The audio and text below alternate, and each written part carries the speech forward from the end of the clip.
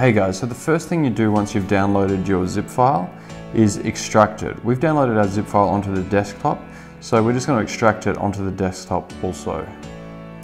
So once you've extracted it, you can see you have a README file, a Photoshop file, an overlay, and a layout.json file. The .json file is the file you'll install inside the Sparkbooth layer editor. So here we are inside the editor. So we just want to click open on the top left and you want to open that .json file. So let's navigate to our desktop, locate the .json file. Now here you can see we have our Halloween portrait postcard template. So you can see it's just got the original text. You might want to customize some of this, you might want to customize the colors. So I'll show you how to do that next. So let's escape the Sparkbooth software. Let's go back to our folder that's on the desktop.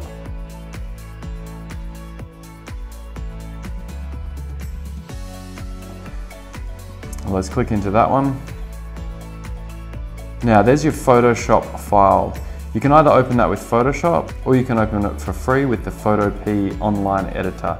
It allows you to open Photoshop files, so that's the easiest way to do it. But if you want to do it in Photoshop, it's the exact same process. So here you click open under file, navigate to the PSD included in your download, and here you can see our Halloween template. First thing we want to do is change the text to suit our event. So we'll zoom in a little bit and just use the move tool.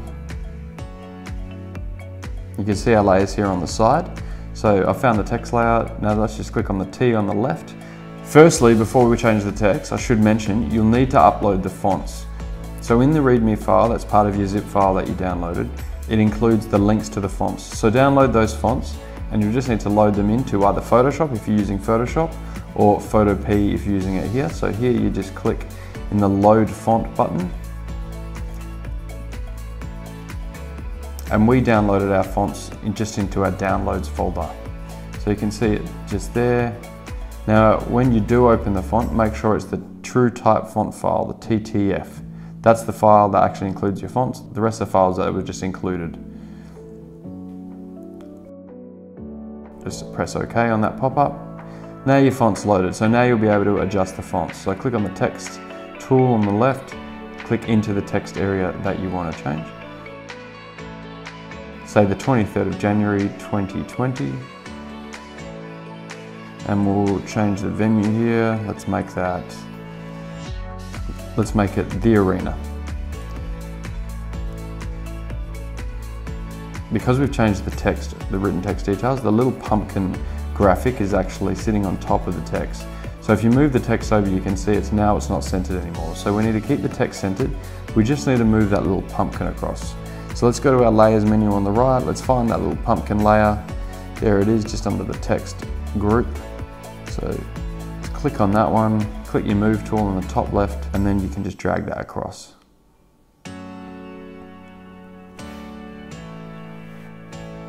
Now let's change some of the colors. So you can see above every layer there's a hue and saturation layer. This is the same in Photoshop, it's the same in Photopea. So just click on the eyeball icon and that will make that layer visible. Now you just need to adjust the hue slider at the top and that'll let you change the layer color. So here we're going for more of a green and, and vibrant, bright red with the pumpkins.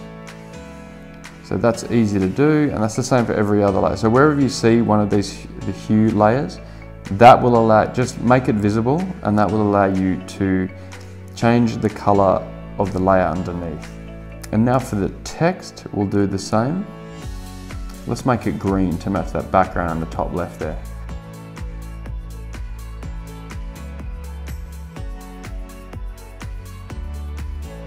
That looks pretty good. Might just drop the saturation down here so it's not quite so bold. Okay, that's looking pretty good. So now let's save it. So you just want to go to File and Export As, and you want to export as a PNG. It's very important to export as a PNG so the squares where the photos go stay transparent. Leave all those details as they are, they're fine. Click Save, and then it's just asking you where you want to save it, so we'll just save it to our Downloads folder. It's just named it Photoshop PNG. The name of the file is not really important at this point. As you can see here, there we go, there's our PNG file in downloads. So let's navigate back into Sparkbooth and we'll go back into the template editor. Now here in the top right, you can see where it says overlay. You just want to import your overlay. So let's navigate to downloads where we saved it and it's the photoshop.png. There you go, it looks pretty good. So it's already in there, all the photos are lined up correctly. You can click the eyeball icon on the top to view a, a preview of it. And here you can see it with some silhouettes of a head in there, which look great. And that's all there is to it. Now you've got your design loaded in and it's ready to go inside Sparkbooth.